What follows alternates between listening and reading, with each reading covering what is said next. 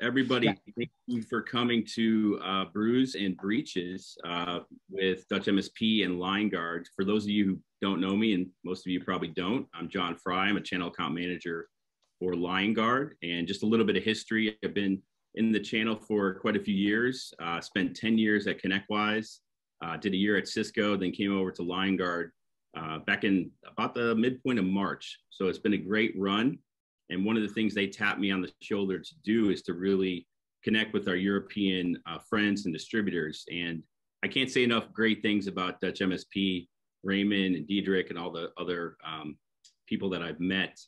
Uh, not only are you guys getting things done from a technical perspective, but it really is a breath of fresh air the way you approach life. And um, you know, something I think that we can learn a lot about here in the states. So it's it's been great uh, to talk to you. Always have a smile on my face when I do. Um, so that's that's really my intro. Um, I'll hand it over to Raymond. Uh, I was on mute. Uh, do you want to do in Dutch or whatever you just want? I, ik, wil gewoon, ik wilde gewoon iedereen welkom heten. Super tof dat er zoveel mensen bij zijn. Even kijken of Bas inmiddels alweer terug is. Bas is weggevallen, maar ik zie hem niet meer terug inkomen. Ik heb hem even een berichtje gestuurd. Maar uh, ja, nee, ja, uh, Scott gaat zo meteen zeg maar, het woord van ons nemen. Die gaat jullie meenemen in de presentatie. Dus de presentatie die wij al een keer eerder gezien hebben en waar ik destijds heel erg van onder de indruk was. En dacht van ja, weet je, dit, dit lijkt me gewoon tof om dit zeg maar met de mensen die wij kennen, de, de vriendjes die wij links en rechts tegenkomen, te delen. vandaar dat ik jullie ook allemaal benaderd heb van hey, kom naar deze sessie. Dit, dit ga je ongetwijfeld heel erg tof vinden. En vooral insight van wat er met KC gebeurd is, bij Solomines gebeurd is, een Print Nightmare, noem het maar op dit is gewoon uh, kick-ass. Dus uh, dacht ik van nou, ik ga jullie gewoon benaderen en uitnodigen voor deze, uh, deze webinar. I think I understood. Okay, I think I understood kick ass. That's about it. That's enough. You don't need more. yeah, there you go. So I'll, I'll hand it over to Scott. Scott, take it away. What about Diedrich? You want to say something? Oh, Diedrich. Oh, sorry, sorry, sorry, mate. You no, I just, uh, you know, I, I second that what Raymond said. And uh, the thing is, you know, in the past year, uh, uh, Liongard has has taken a pretty important, you know, uh, place in our stack. So I, I, think it's one of the three or four uh, uh, pillars, uh, you know, together with the RMM and PSA documentation and Lion Guard. So it's a, you know, it, it, it became pretty important in a short span. So that's why we wanted to introduce it to all of you to really unlock the power of uh, of Liongard. So um, yeah, looking forward to the presentation and uh, uh, let me know if you have any questions. Awesome. Hello, everyone. Here. happy to Brews and Breaches. uh, it is absolutely a pleasure to join you guys all with Brews and Breaches. Um, you know, really, it's the only way I can convince my wife to let me drink at eight o'clock in the morning or nine o'clock in the morning here in the state. uh, so thank you guys for having me. It definitely, I'm looking forward to cracking one open and joining it at the end. Um, I am excited to be speaking with you guys about a topic that's near and dear to my heart, which is IT security. And it's really all about what you can do to build a better security foundation. But try to play, pay close attention because you may think that you have all your bases covered but I'm going to challenge you to really step back and make sure that you have the fundamentals right. So, just a little bit about me. You know, just you know, take care of the house cleaning here. Before joining Liongard, uh, officially now a year ago, I spent six years working in the MSP space. I've done everything from the help desk to VCIO to director of ops, sales, and really everything in between. You know, you guys are in the MSP space. You know, I had 12 hats just like you guys did. Uh, just like you've been there, you know, and collected those hats. Before entering the MSP space, I worked enterprise IT, where I had a focus on cybersecurity and infrastructure. I have in depth experience and knowledge with many of the international and US based compliance and breach notification laws, including NIST, CCPA here in the United States, GDPR. I just went through Australia's Essential 8, PCI DSS, uh, other industry ones, and etc. In addition to Liongard, I'm a founder of the Cybersecurity Association of Pennsylvania. I'm an adjunct professor with Harrisburg University here in Pennsylvania. And when I have time, I actually run a vlog called The Morning Breach. So please, there's no questions, you know, off the table. If you have a question, ask it, even if it's not Liongard related, if it's, you know, security related and you're really trying to figure something out, please ask it. A, between myself, John Fry here with Liongard, uh, but really the community that's here on this call, we can help you get that answer. And it's all about sharing that knowledge. I know it's late in the day um, for you guys, and I promise I want to get to that time period that we all can crack that beer open. So I don't want to waste any time. But if you do have any questions, just post it in the chat and we will take care of them at the end. That way we can fly through the presentation and get to that cold beverage. So, Houston, we have a problem. These words were made famous by Jack Swigert with Apollo or 13. We're here as well as the world is seeing this new surge in cyber attacks and breaches. You know, recently we've seen Kaseya's uh, cyber incident. We've had SolarWinds uh, supply chain attack. You have CNA Financial, which is one of the biggest cyber insurance firms in the U.S. You have gas pipelines, food, the medical industry. Well, you already know, no business is safe. No industry is, you know, outside of the realms of what these cyber attackers are targeting if you can sit here and tell me that you've not had a security incident over the last 12 months, I can tell you that you don't have the right tools in place to know that you were attacked. Even worse, the attack may have been successful and you just haven't figured it out yet. From your phishing emails, from hacked websites, from zero day attacks, your supply chain, social engineering, and more. I guarantee we all have experienced at least one of these in an attempt, if not a successful breach. The subject of IT security has been elevated to unprecedented levels. And the list that you can see of the growing types of attacks isn't going to get any smaller. You know, I remember the days when you heard about a breach every now and then. Well, technology has really expanded and has really grown, and change is the only constant. These attackers are getting more sophisticated and they're looking for the folks on this call who have left their guard down. They are after you and they're after your customers. So it's not just looking at state sponsored cyber attacks or cyber terrorism or ransomware, malware, phishing, man in the middle. You know, you have your employee cases too. There's so many types of attacks that we have to be prepared for and think about when we're looking at planning how we're going to defend our infrastructure and our data against all the different attacks. So I like this slide here. It's it's all about the security spectrum, and it's kind of that pre-incident versus pro or post-incident. And we tend as IT professionals to be on the right side of this, and it's being that reactive side you know, I'm looking at it and, oh, I found it. I'm going to respond to it. I found it. I'm going to respond to it. And, we go through this vicious cycle, but we never really take the time to move a little bit further over into that defend. You know, hey, we had antivirus, we got this, but have we really gotten into hardening or have you gotten over into really architecting a good cyber policy and a good plan so that hopefully we don't even get to the post incident side of it? Reactively reactively looks like having that advanced threats that evade multiple detection methods. You need to rely on activity logs that trigger you when something's going on. And we have to stop reacting and really get to a point that we're being proactive and we're planning so that when it happens, A, we know what needs to happen. We have that checklist ready to go. But at you know, we have to all work as a community to get to the left side of this slide. So, how do you get to the left side? And almost every solution that you're familiar with in the security spectrum is post breach. Your antivirus, your intrusion intrusion detection, SIEM solutions, you know, they're going to let you know that the bad guys have already made it in. You know, if you think your firewall is all you need, well, the walls you build to protect your fortress are permeable. Attackers will go under, they'll go around, they'll go over, they'll go through them. So you need to make sure you position and plan what you have in place across the board. You know, it's not a matter of if an attack will happen anymore, but it is absolutely when is that next attack or that next vulnerability going to be highlighted. And we learned that, you know, really looking at the recent Kaseya incident you know, just out of the blue, you know, people started getting locked out of their Kaseya RMM environment. And at first, you know, really no one knew what was going on.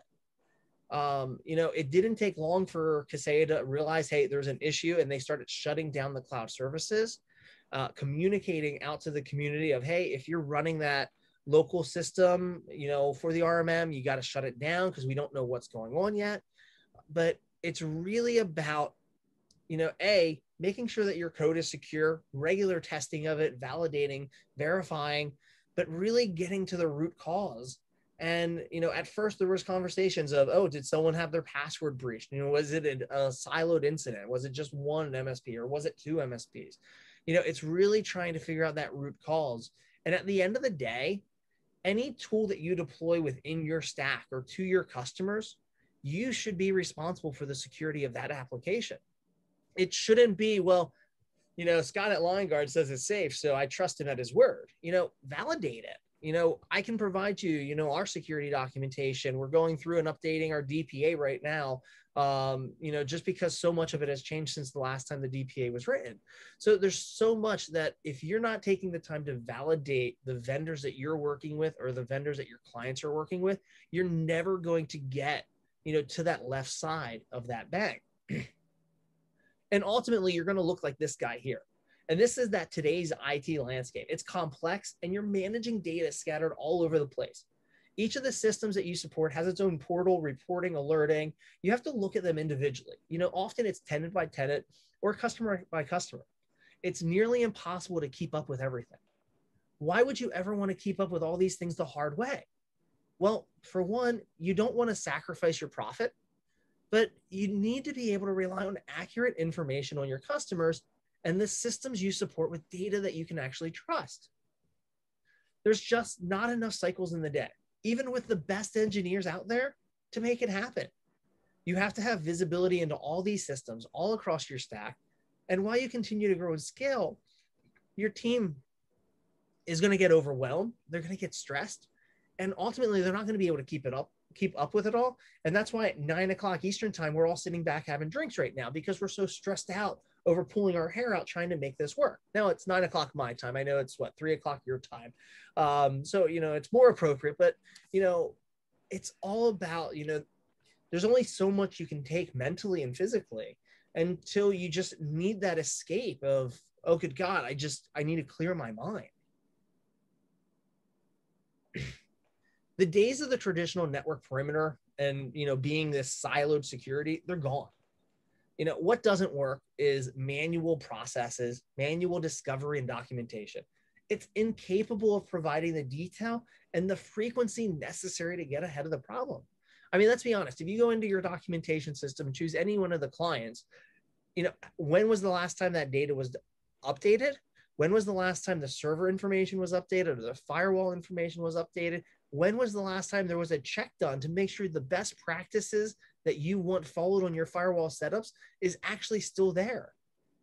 The amount of times that I saw port 3389 open up across all the different networks that I helped consult with at the beginning of COVID was just mind boggling of why IT people thought it was the fastest way to open up people from working at home. It's like, I get it. You need to give capability, but you have to do it securely the manual correlation of data from rapidly expanding number of different systems and services that just it's not going to scale. You know there's not one solution out there that you can just say okay this is $5000 i'm going to spend $5000 and it's guaranteeing i'm not going to get a breach. The product doesn't exist. And the more systems that you add on to kind of layer your security stance it's good but you also have to be aware of what you're trying to patch in that you know that whole stack that you have, your security stack, because you just don't want to put money out there. Because so often with security tools, what we see is you're adding a tool because it says it does this, but you never fully configure it to do what it says it does. So now you have two tools doing the exact same thing, and neither of them are set up correctly. And all it's doing is opening up additional holes in your, you know, your defenses one-time audits and reviews just are no longer sufficient to keep up with the rapid changes in our own ecosystems. Um, you know, I think the, the most popular one that I can think of is I was a Cisco Meraki shop when we were an MSP. And for whatever reason, my lower level techs, anytime someone complained about internet slowness, they had it in their mind that they had to log into Meraki and turn off intrusion prevention. And it was like this conversation that they kept having of it fixes the issue. And, uh, you know, I kept coming back and saying, do not turn this off to the point that I actually had to start disabling their access to Cisco Meraki.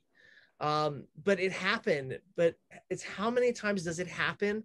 Or how many times does someone make a change trying to fix an issue and doesn't change it back to see if that really was the root cause? You know, when I'm going ticket to ticket, when I'm trying to flow through 30, 40 tickets a day, you know, I'm fixing it. Okay, you're good. Perfect. I'm done. I'm moving on. Close the ticket. Sometimes I may put notes in there that I turned it off. Sometimes I may not. But doing these one time audits means you're not going to find out about it until the next time someone logs into that system and says, oh, wow, that's turned off. That's not good. Or you do that one time audit when you have time to do it. What does work is the unification and automation. They're necessary to detect the potential exposures in your customer security posture. This is the era of cloud and Internet of Things. If we're not looking to automate the processes that do the tedious, mind-blogging, crazy, time-consuming, you know, processes, then you're, you're going to be stuck in this manual world and you're not going to give your clients the peace of mind and the security that they deserve. MSPs must provide a management plan that addresses these potential threats from both the seen and the unseen sources before they arise. And at the root of it all, data is king.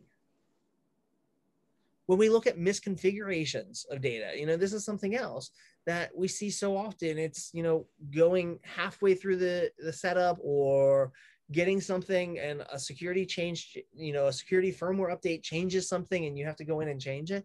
You know, firewalls aren't the forget it and, you know, set it and forget it devices that they were before. We have to make sure that we're keeping them updated, making sure that, you know, usernames that don't need to be in there aren't in there, making sure that new usernames aren't added by someone that's creating a backdoor um, you know, or there's insufficient firewall rules that are no longer being used, or misapplied DNS filtering. You have to make sure your AV, your malware, your security tools, you know, are updated. You know, when's the last time you validated your backup disaster recovery works? You know, I did quarterly checks with each one of our customers to make sure that, you know, if a situation came up that I could restore just a file or an entire server. So making sure you're going through those drills, making sure you're going through those tests. But I'll be honest with you, if you're on the reactive side of the bubble, you don't have time for that. It's not until you can make that transition to being proactive that then you can say, okay, we're going to budget time for this now, this now, this now, because being proactive is going to give you that time back. Automating that data collection and data monitoring is going to give you that time back. You have configuration drift, or you know that too often we fix something only for it to be unfixed later. You know, just like I used the example a minute ago with the Cisco Meraki and the intrusion detection. You know, making sure that someone's fix doesn't need to be unfixed later and getting that visibility into those configuration changes are absolutely crucial. So data is king. And you know, I'm going to say that I think a few more times as we go through this presentation. And you know, it's extremely helpful when you're being that proactive MSP to be able to predict what your threats are or what your weaknesses are. But it's just the tip of the iceberg regardless of the system, whether it's the coolest SaaS product out there, the coolest server, the most expensive file store in the cloud, network device, whatever, configurations must be continuously and correctly documented. It enables your MSP to remain alert to any changes and being agile enough to correct them in a timely manner. I mean, if you think about it, there are some of the examples. You know, we talked drifted configurations, but multi-factor authentication, DMARC, DKIM. You know, these are policies and, and um, you know, not policies, but there are services that have been out there for a while. But even when I'm going through and running tech evals or going through demos and I'm asking MSPs across the globe, are you using MFA yet? I still sometimes get the answer of no. or when I'm getting ready to jump on a call and I just do a quick, you know, look at the domain name and I see that DMARC, DKIM, and there's no SPF record on the domain. You know, if we can't take the simple things with our own business, with our own kind of domain for security, then what faith do you I have as you providing, you know, my business that level of security you're talking about? When I was in sales or when I was jumping in and helping sales at the MSP, I always went in with that information. Like if I knew for a fact that my leading competitor didn't have DMARC and DKIM set up, absolutely, I was highlighting the point. It's like, look, you know, you know, I understand you don't know what DKIM is, but you know, a rough example, uh, you know, this is really to help secure your domain from malicious emails. Well, this vendor that came in here and pitched this to you, they don't even have that set up. Here's the proof. And this is why we set it up for you. So you're actually more secure than this potential vendor that you're looking at you know, nothing gets eyes open more when you highlight the security weaknesses of some of your competitors. And especially when you've told them about it, because, you know, you don't want to be that vicious person. It's like, look, I'm telling you up front, you, you should have DKIM and DMARC enabled. If you don't want to do it, cool. But if you don't do it, I'm going to use it against you. You know, it's all about the community as a whole improving and helping each other. But at the same time, if you can't protect your house and you don't have the data and the information to know what to do to protect your house, then ultimately when you're breached, it's on you. It's not some vendor's fault. It's not this, it's your fault. And it all starts with that data. So when I look at, you know, the standardized, the scalable and secure outcomes, you know, data leads to insights, which leads to high impact outcomes. Data warehousing and data aggregation are key your insights are going to lead to new opportunities. They're going to help you close the vulnerabilities. And ultimately, it leads to that high impact outcomes, which is better reporting for your billing, reconciliation, uh, your quarterly business reviews, or whatever you call them, onboarding processes, assessments, your onboarding, ongoing audits, being able to scale across customer environments, across systems and services. This is absolutely crucial. Now, I've said data is king a few times. And the reason I say that is at the end of the day, you can't secure what you don't know. One of the favorite exercises I did during onboardings, uh, and I did onboardings in typically two to four hours after I had Liongard in place at the MSP. But I would sit down and I'd go around to different departments and I'd have conversations with them while we were TruMethods. So while my net admin actually went around and installed Liongard and you know took pictures and stuff. But I would sit down with employees and have conversations. Okay, where are you storing your data? How are you doing this? How are you doing that? You know, really getting to know each department and how they kind of function. And typically, what I came out of that is sales loved OneDrive, uh, marketing loved Dropbox. So and so used Box.com to store things. So and so, you know, had a remote desktop tool that wasn't authorized. But I'd get all this information and I'd be able to go back and within 30 days in my state of IT report to the customer, you know, with the help of Liongard's data and insights, I'd go back within 30 days, present to them all the issues that they have, all the data that I've collected. And oftentimes the response was, you know more about my network in 30 days than the last vendor did in multiple years. But more importantly, is I'd be able to say, all right, you're my point of contact. You're the CEO of the organization here. Where is your data at? Like if a breach occurs, where's your data at? I'm like, it's on the server. I'm like, do you have any outside of the environment? No, everything's on my server. And I've heard that so many times, and you guys have probably too. But in reality, marketing is using Dropbox. I have sales is using OneDrive. You know, they don't think about the services that they have or where their data potentially lives when it leaves the office. And we saw that dramatically shift and change with the start of COVID 19 because now not just employees were looking for an easy way to work at home, but you had IT departments sometimes struggle to give them the fast and easy access to the data in a secure fashion. That opened up a ton of security vulnerabilities, be it port 3389, not secure VPN tunnels, or anything in between.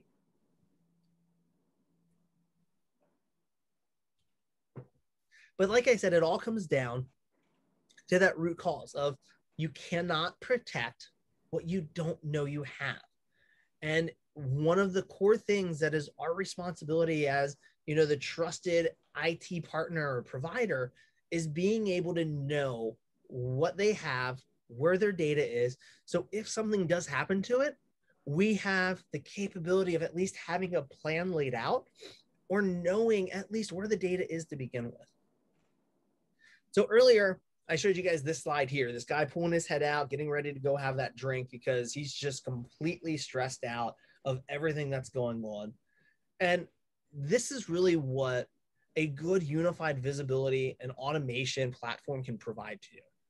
Now, obviously, I'm talking about Liongard here, but you know, whatever it may have been, you know, in this case, Liongard, being able to grab 70 plus inspectors or systems that you have out there, being able to grab insights from that, being able to bring them all together, put them into one portal so that you can sort it, you can export it, you can report on it, you can view what you have across your platform, across all of your customers. Being able to standardize on those configurations and documentation, being able to create metrics and actionable alerts that alert you when a change occurs, be it port 3389 open or intrusion detection turned off, or random technician creates a backdoor username on random server, or a new user was added to Active Directory, or a new computer was added into Active Directory, sometimes without you knowing. And if they're adding computers on their own, you have to make sure you're securing them. But at the end, it's all about allowing you to scale your business. The true benefit of an automation platform like Liongard is it's giving everyone in your organization time back in their day. And when I say everyone, I mean everybody. It's giving your technicians time back because now you're making that transition to being more proactive and you're getting more insights before they become issues of the customer calling. So the technicians aren't as stressed. They're able to go through things a little bit faster. You can also customize the body of those messages and include scope of work or uh, um, SO, um, yeah, um, SOPs, standard operating procedures on how to resolve issues. So you can build all this stuff right into that ticket body. You can also put the data that they need. So now they're not scouring, looking for what they need before they even start working on the ticket. It saves your higher level engineers time because they're not getting tickets escalated to them because of proper SOPs that are written and processes now that are being followed by Liongard automating and checking this stuff.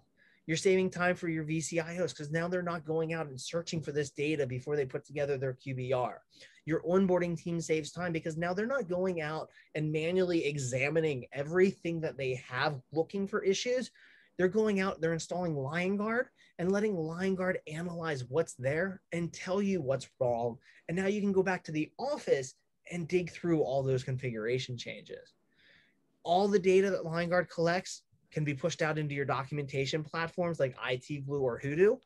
We're pushing it over into your ticketing systems. Uh, there's five different ticketing systems that we push over data to, or you can even push it over into BrightGauge or Power BI uh, or your own custom API as we have a REST API. So you can pull data out of Liongard and really manipulate it to do what you need it to do. At the end of the day, Liongard is that data repository, that change management tool that's really going to open up and give your entire team back that time that they need. And you know, I mentioned all the tech positions, but what about your billing person? How many times does your billing person have to call you and say, "Hey, how many licenses does so and so have? How many are they using? With Liongard, we pull that licensing information back when the licenses expire, how many users are using it, how many users are, how many licenses aren't being used. So you can make sure that your licensing is in line and you're not having the customer pay for more licenses than they need. So I'm going to show you guys a quick demo. And let me switch my screen here. So again, this is going to be a quick overview. I'm going to highlight just a couple things, but I really do recommend taking a look more in depth by doing a one-on-one demo. Uh, but if there are questions in the last kind of 15 minutes, I will come back and I can show you guys different things. But when I look at Liongard itself, this is my home, this is my kind of my home dashboard. So I have all of my environments. My environments are my customers. This is also how Liongard bills. So it's a flat rate per environment. Doesn't matter how many users, it doesn't matter if your clients are connecting in, doesn't matter how many systems they have. Environments are your customers. Your total systems are all the different systems or the inspectors that are being used. That could be Microsoft 365, Cisco Meraki, Sonic Walls, HP ProCurve switches, etc. Your open alerts, that is the actionable alerts that are triggered to report inside of Liongard. And the nice thing is, is as you add systems, a lot of the systems actually will discover other systems. For example, if you add an internet domain and it says, oh, there's an SSL certificate on this, it's going to discover the SSL certificate. The other thing that you'll see is we have a lot of what's known as parent child inspectors, which we're using your partner level accounts. So, like Microsoft 365 or Cisco Meraki or Sentinel One, we're tying into your partner level access and we're giving you the capability of setting it up once and then mapping your customers over. So when you're onboarding that new customer, it's not just you know setting it up brand new. It's okay. I get them added into Sentinel One.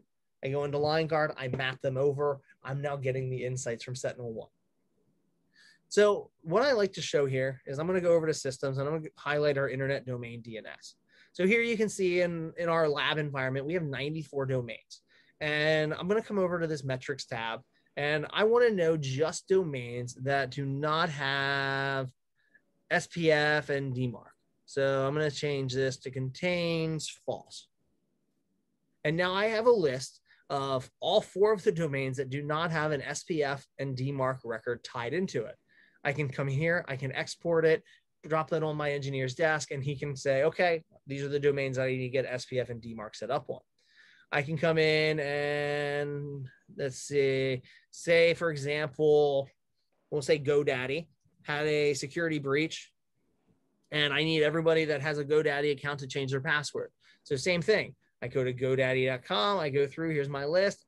I can come up here, I can export, and it's going to show me and tell me who has GoDaddy so I can get a hold of them, let them know what needs done. You also see there's MX records, etc. The real power, though, is the fact that you can select the metrics that are important to you. So, say, for example, the admin contact, you know, is important for me to see. I can come in here and add the admin contact. Or if I want to see the DNS SEC records, I can come in here and see who's using DNS SEC. So any of the data that we collect is inside a data print. That data print is read by metrics, which are JMESPath queries. And from there, you can report on them throughout the platform and customize what you need to see. But let's dig into the domain contoso.com, Microsoft's favorite fake company. And what I'm going to show you guys here is all the information that really you would need to know to manage this domain. So I got right up top, I have this timeline. This is my historical change management timeline. Um, so it's going to alert to me anytime system changes. So here I can see on 722, two changes occurred. I'm going to go back in time. Now I'm looking at the data from here. I can see I have two changes and I can see registering contact changed and the DNS admin contact. Now, if I go to 723, it's probably showing me going from null back to Microsoft. If we go back over to system details, you have the capability of adding notes, what I've used notes for in the past is, hey, I'm getting ready to do a web server migration or I'm getting ready to do a server upgrade, you know, just tying notes to the timeline to correlate to what some of these changes are. Or here you can see note for Scott on this timeline entry, you know, sample text, whatever. Down below is you have your data. So Here I can see the domains contoso.com. It's registered at Mark Monitor, domain created, updated, you know, the simple stuff you would expect to see. We're digging into the DNS information, your hosting region, your A records, name servers, even going into your website, showing your, your website region, your website hosting vendor, is TLS SSL there? Looking at your SPF, your DMARC, even who is that hosting vendor for your email and what the MX record is. But the root of it all comes in with this DNS tab that's going to show you all of the records, where it points, and even where it resolves to.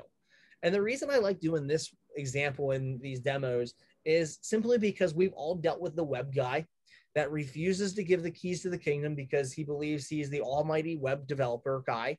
And he changes servers sometimes without telling you. He makes changes without calling us. And what happens is he forgets to copy over a VPN dot or the MX record. We've all been there. We've all seen it. we've all gotten those phone calls from the customer saying my domain's not working my you know nothing's working i can't connect anymore and you know you start troubleshooting you you know but so oftentimes you go back and you say oh someone made a change to your mx record and that's why email's not working anymore um, but before you did that you probably spent 30 maybe an hour going through troubleshooting that workstation when really Liongard had the answer so it is important to kind of be aware. And sometimes it's those basic issues or the basic uh, solutions that solve some of the complex issues. And where Liongard really benefits with this, and if I go to say, I'm going to go over to environments here and go to Contoso. So I'm going to go to the Contoso Nation environment dashboard. And what I have the capability of doing is coming down here into my environment admin inspectors choosing all 82 of the inspectors, all 80 devices that I have in play, and actually running them at once. So this was step one for my techs when they were doing triage to be able to come in and quickly identify changes that may have occurred doing a manual run outside of the automation schedule to see what has changed since the last time the inspector ran. You give it five ten minutes, you come back, you now have the triage information and the insights to say, oh, the firewall configuration changed. Oh, the internet domain information changed. And that really is what opens up the door to being able to speed up that process in resolving tickets. Now, the other inspector that I like to show is our Microsoft 365 inspector. Why? Because, well, it's Microsoft, and for the most part, everyone's using 365 and at least one or multiple users or um, tenants.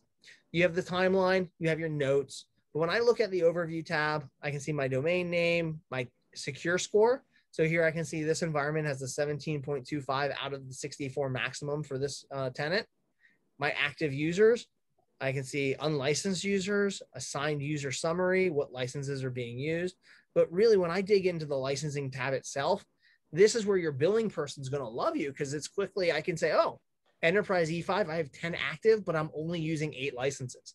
So now it's that phone call to the customer. Hey, I see you have two extra licenses of E5. We can actually discontinue those and actually save you some money uh, when your next bill. So, you know, that's awesome. But if you need us to keep it because you're hiring someone, you know, we can do that too. You can see, you know, mobility, e- EMS premium, you know, seven assigned, you know, only 10 are active. Um, but being able to break down those licenses or even licenses by users, I don't understand it, but I have seen where a technician adds business premium onto a user that already had 365. Uh, so they have kind of now two exchange licenses or two Office 365 licenses. I have seen it, and you know this is a great little summary. And again, it's all exportable into that CSV format, so you can kind of manipulate data there. Breaking down users, being able to see if they're privileged, MFA status, what their licensed products are, have they been active in the last 30 days? Um, we can dig into roles, groups, your mailbox information, such as storage use, quota warning, you know, being able to quickly identify, you know, what the issues are. I love the secure scores tab for two reasons. One, it's going to give me my MFA. So here I can see MFA registration V2. So out of my 12 users, you know, nine of them do not have MFA set up. Or here I can see my admin account, my admin MFA V2 one user does not have MFA set up. Or my other one that I love pointing out because we all have to go, you know, disable this. And if you don't, I highly recommend this is your takeaway. Go into 365 and start disabling the block legacy authentication. Uh, so your older office clients, like 2010 and older, you know, they still may use IMAP, SMTP, and POP3, but really 2010 and newer, it's all exchange format. So unless you have a scanner that's doing scan to email over SMTP, you don't need IMAP, SMTP, and POP3 open for these anymore. So go through and disable those legacy authentications. Here you can see I have 12 evaluated items. All 12 of my users are in breach because it's not disabled for these users. You see your domains, organizations, what SharePoint applications you have going or what applications, OAuth 2 permissions even your service principals, here's your SharePoint sites, uh, and getting into contracts. Um, like I said, everything comes into this big data print file, and it's you know that JSON file is showing you everything that's going on within. That's my roles. Sites, users. Uh, you know, if I expand down on users, I can see more about. And here it's uh, Alan DeYoung, just a member, blah blah blah. So any data that's inside the data print can be created into a metric. You can filter it down pretty granular. And then from there, you can create that actionable alert with the custom thresholds that you need to make sure you're not creating the added noise into your platform. So with that, I think we have 15 minutes left. Um, so before I do the questions, I'm going to flip back and hit one more slide, and then we're going to do Q&A. So standardizing, scaling, scalable, and secure outcomes you know your data is going to lead to insights which is going to lead to your high high impact outcomes such as you know being able to have the data so that you can tell the customers what needs fixed or what needs to be worked on to give them a better security experience. It's going to save you time with billing reconciliation your qbrs onboarding assessments your ongoing audits. Being able to quickly scale new customers in because now all your techs have more time because they're not doing the tedious work of documentation and trying to analyze what configurations are wrong being able to standardize that documentation of your environments. You know that's going to lead to faster implementations faster support response standardized configurations. And just because you have the ability to implement numerous types of IT security measures doesn't mean you need to over doesn't mean you shouldn't overlook the basics.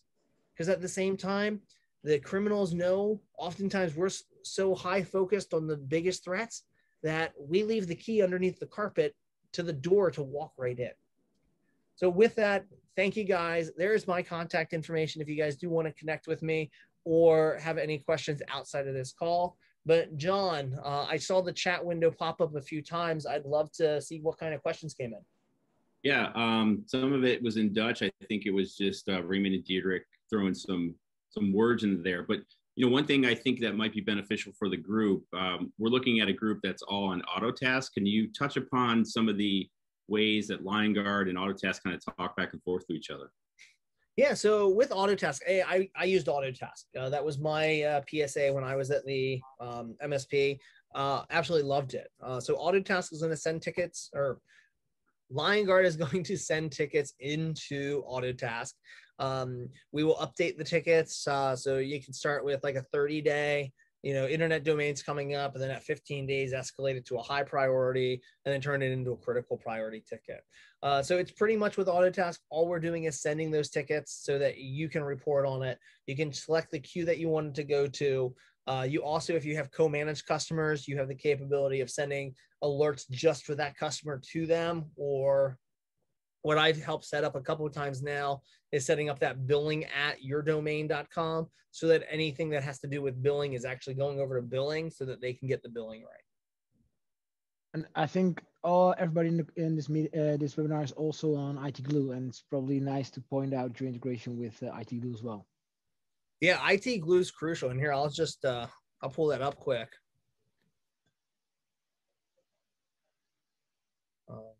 And I also used uh, I also used IT Glue. Uh, I think we were one of the first hundred customers to sign up with IT Glue.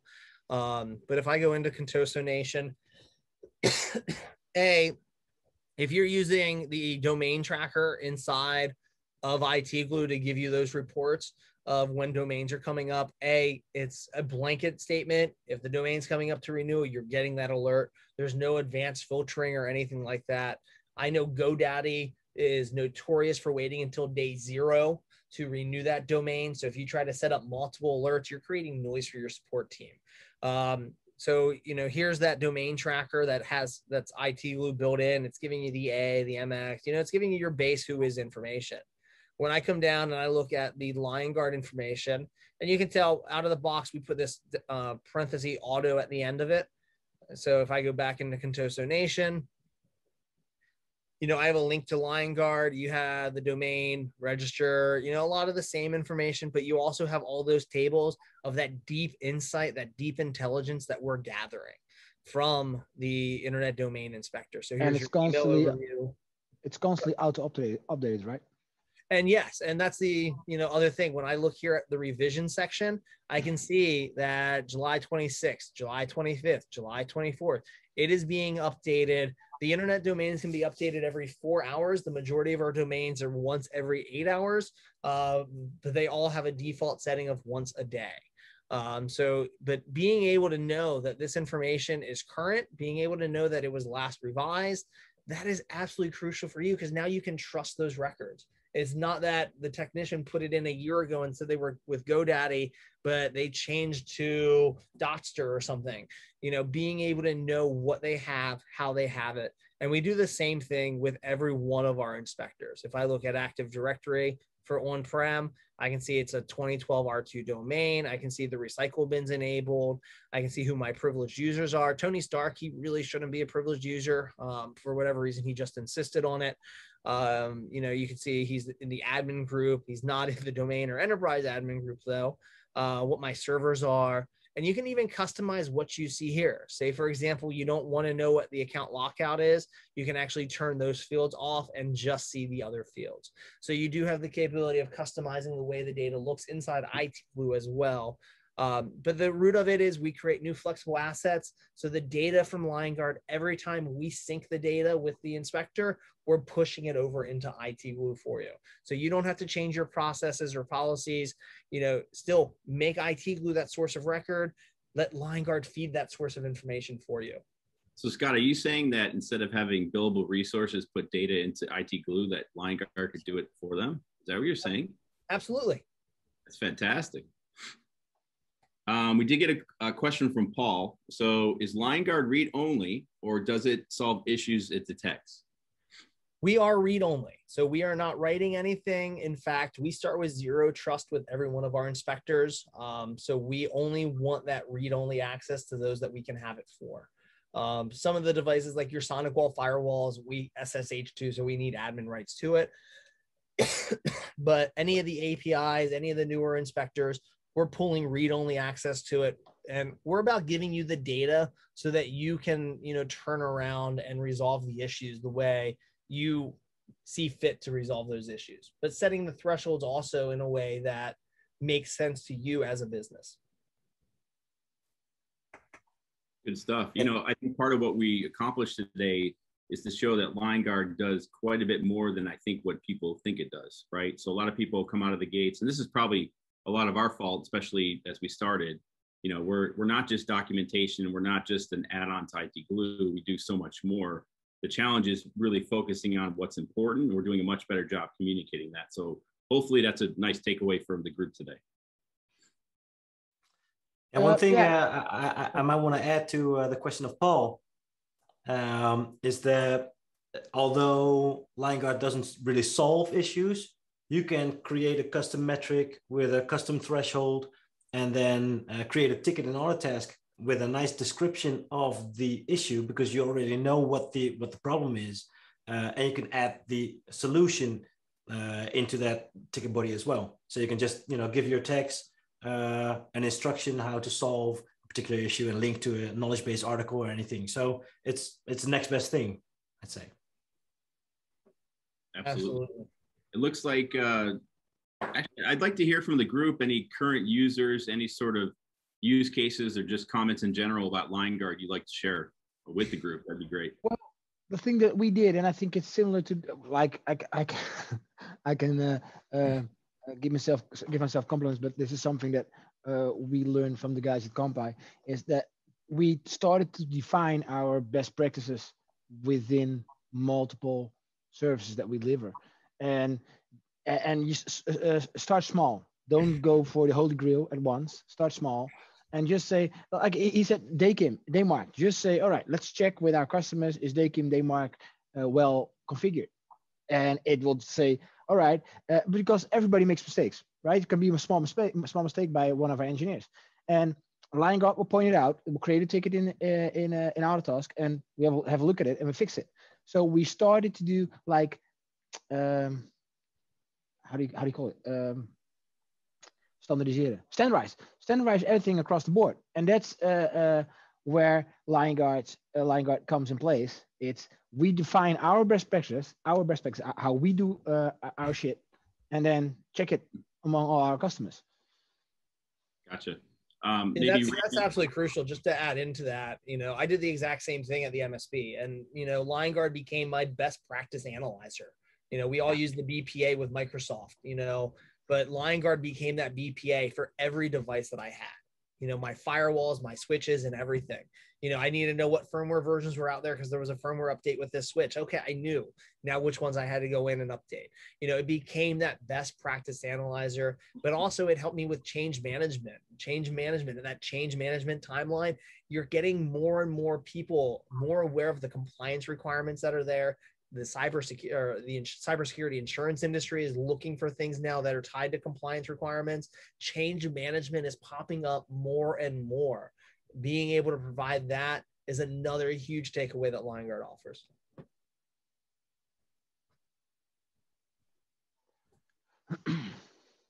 For us, it helped fulfill the promise we made to our customers. Like we made a big promise to the customers years ago, and uh, time after time, we found ourselves uh, like not looking at I, I, can give a, thousand examples. Not looking at this not looking at that. And th- when the moment comes uh, when be- that becomes a problem the, uh, it's like yeah mm, shit we didn't see it. Shit we didn't see it. So uh, but we promised we would like because we know we should. And this is automating that that and not leaving it to the engineers to do it day in day out. Let the system check it. And only if it's uh, if there's delta, let us know and we'll have a look. So Raymond and Diederik, um, what other things would you, uh, as you know, users of the platform, used it for mm-hmm. a little while. What other areas in terms of inspectors or other things that you're looking for Liongard to do? What, what are some things you want to see on a roadmap? And they might even be there. Ooh, it's a nice one. Maybe I can tap my colleague Mark there. Yeah. yeah, yeah, sure. I got some ideas. Yeah, uh, yeah. We put a few ideas in the ideas uh, portal, um, and and basically what we want is some of the inspectors are a bit limited at the moment, so they don't go as deep as we would like them to go. Uh, for example, we yeah, for, yeah, Fortinet is a really good example. Uh, we're really missing some settings here, and I believe it's also more of a bug than really a missing feature. Uh, because before FortiOS 6.2, the line Liongard inspector did retrieve all the data, uh, it would have, but it, it no longer does. Um, and we've had that issue open for quite a while now. So I would really hope to see that on the roadmap um, uh, sometime soon. It's the same with Office 365. We're really missing some uh, security and compliance checks that have been released in the past year and a half by Microsoft that we would really like to see in the uh, Liongard inspector as well. But overall, uh, we're really happy with the product. It's it's great, and it allows us to check our entire cloud stack in one platform, which is really uh, really nice. But I don't think any other tool does that. Yeah, I think uh, Mark brought up a great thing is the ideas portal. And anytime I talk about the ideas portal, I, I always remind everyone that our development team, they're not in your shoes. They're not an MSP person. You know, some of them have worked at MSPs, but they're a developer. Um, so when they're going in and they're writing that inspector, when they're building that out, they're building what they believe that you need. Uh, so when you're creating those ideas, the more information that you can add in, it's great. It's the same thing that you ask of your customers when they're putting in a support ticket. You know, if you can put a link into the API, or if you can say these are the API calls that I need to see, and this is why I need to see it, you know that adds to the you know capability of them but it also saves them the time of finding that api command what data you need, why you need it. So being able to explain that to the developers is absolutely crucial as we're building out and updating these inspectors. Uh, the turnaround is great. There's a lot of great things coming uh, in the roadmap. Um, you know, every once in a while, you're going to see, you know, Fortinet, you know, not excluded, um, an API update or a firmware changes that changes, you know, access to something and it breaks things that Liongard collects. You know, I see it on a regular basis. You know, Microsoft specifically with their graph API and how they just on a whim will change things. Um, so I mean, our dev team is great at you know identifying those. But when you see something, use that ideas portal because that's where our dev team gets their brilliance. Yeah, and they don't go into a black hole when you send stuff there. I know other vendors that that might be the case, but it's kind of refreshing, especially coming from some of the places I've been where ideas go into ideas portal and you know they get attention. Um, there's, I know we're kind of running short on time here. There's two links I put into the chat. Number one, if you're interested in a one-on-one demo, there's a link to sign up for the one-on-one demo. If you're ready to go, you're ready to sign up, there's also a link for that. So take a look for those links in the chat. Yeah, and if I may add, if you want to take a look at it, you know, in a live environment, live-ish or live use cases at you know one of our at, at Kampai or NSO, that's um, that's fine too for you. You know, sign up or trial it yourself. Yep. Cool. All right. Well, Is with that, time? I'm gonna give this. I'm gonna give this a shot. I'm gonna say badonked. Did I get that right? Close enough. Close enough. Close enough. All right. All right. I'll take it, guys. That's it's been a pleasure. Beers. Thank you all. Yes. Thank you um, very much. Thank you much, uh, everybody. Um, again, there's links for you to follow up on, as I mentioned. Uh, please reach out to the great fine gentleman at Dutch MSP uh, as well if you have further questions, or you can contact me. Look me up on LinkedIn, John Fry at Liongard.